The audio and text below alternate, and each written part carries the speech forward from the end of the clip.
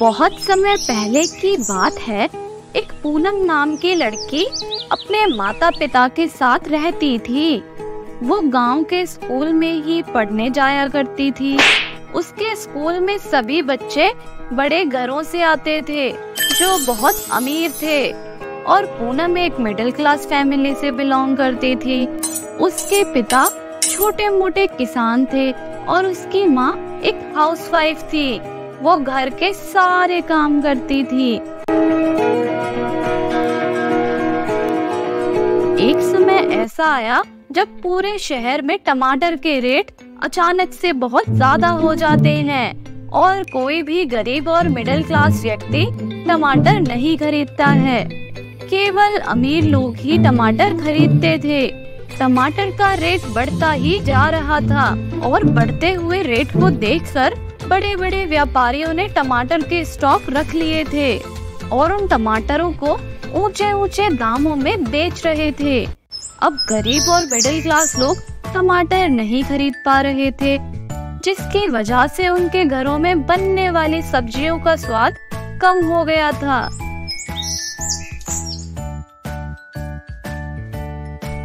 बच्चे भी सब्ज़ियाँ खाने में नखरे कर रहे थे। माँ ये आपने कैसी सब्ज़ी बनाई है? आलू उबाल कर रख दिए हैं बस। इसमें ना तो टमाटर है ना, और ना ही कुछ और। एकदम बेस्वाद खाना लग रहा है। मैं इसे बिल्कुल नहीं खाऊँगी। अरे बेटा, अब मैं तुम्हें कैसे समझाऊं? मार्केट में टमाटर का रेट कितना ज़्यादा बढ़ गया है। आजकल तो लोग टमाटर जैसे भूल ही गए हैं। केवल अमीर लोग ही टमाटर खा सकते हैं। अगर हम लोग टमाटर खाने लगे तो हमारा सारा पैसा तो टमाटरों को खरीदने में ही निकल जाएगा। माँ, मैं खाना बिल्कुल नहीं खाऊँगी। मुझे बिल्कुल अच्छा नहीं लग रहा है।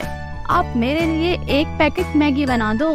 क्योंकि पूनम ने दो दिन से कुछ नहीं खाया था तो उसकी माँ उसके लिए मैगी बना देती है। वो जैसे ही मैगी देखती है, उसको मैगी में टमाटर नहीं दिखते। वो गुस्से में अपनी माँ से कहती है, ओ माँ, आपको पता नहीं है मैं बिना टमाटर के मैगी नहीं खाती हूँ। फिर आपने इस मैगी में टमाटर क्यों नहीं डाला? मैं कुछ नहीं जानती। मुझे टमाटर ही खाने हैं। पूनम की तरह ही बाकी शहर के लोगों का भी यही हाल था।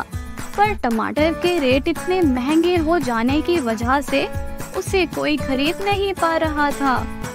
और ऐसे ही बहुत दिन बीत जाते हैं। टमाटर के रेट कम नहीं हो रहे थे। व्यापारी टमाटर को ऊँचे ऊँचे दामों में बेच रहे थे और मोटा पैसा कमा रहे थे। उन्हीं में से एक व्यापारी थे पेटूलाल।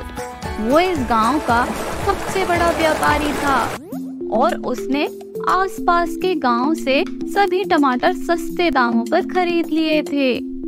और उनको तेज दाम पर बेच रहा था।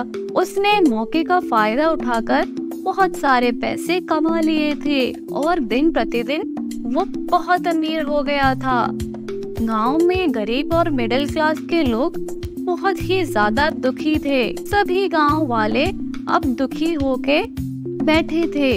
तभी आसमान से लाल परी देखती है कि गाँव के सभी लोग लाल लाल टमाटर के रेट महँगे हो जाने की वजह से बहुत परेशान हैं। वो परी अपना भेष बदल कर ज़मीन पर आ जाती है और अपने जादू से टमाटर लेकर धरती पर बेचने लगती है।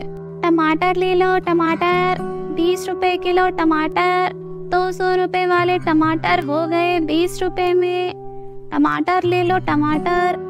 स्वादिष्ट लाल लाल टमाटर। अरे, ये देखो, दो सौ रूपए वाला टमाटर बीस रूपए में। चलो चलो, हम भी देखते हैं, कैसे हैं टमाटर? बीस रूपए किलो वाले टमाटर वाली बात पूरे गाँव में फैल जाती है।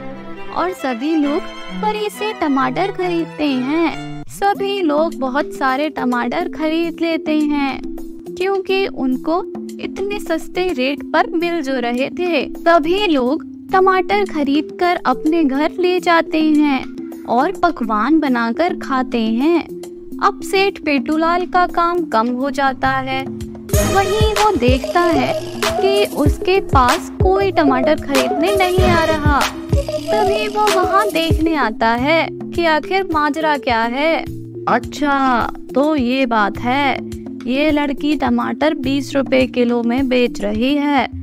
अगर ऐसा ही चलता रहा तो मेरा लगाया हुआ सारा पैसा बर्बाद हो जाएगा। मुझे कुछ ना कुछ तो करना ही होगा। नहीं तो इस बार बड़ा घाटा हो जाएगा। इतना सोचकर सेठ अपने घर चला जाता है। वो वहाँ से अपने आदमियों को भेजकर उस परी को उठा लेता है और उसे एक कमरे में बंद कर देता है। और उसके सारे टमाटर अपने गोदाम में रख लेता है। अब परी ने अपना भेष बदल लिया था। इसी वजह से उसकी जादुई शक्तियाँ काम नहीं कर रही थी। अब उसे बचाने के लिए केवल रानी परी ही आ सकती थी। पर रानी परी को ये बात पता कैसे चलती कि परी को सेठ पेटूलाल ने कैद कर रखा है। दो दिन निकल जाते हैं। सेठ पेटूलाल की बेटी अपने घर वापस आती है। तभी उसे एक आवाज़ सुनाई देती है। वो उस आवाज़ के पीछे पीछे चली जाती है। वो देखती है कि एक कमरे में एक लड़की को कैद कर रखा है।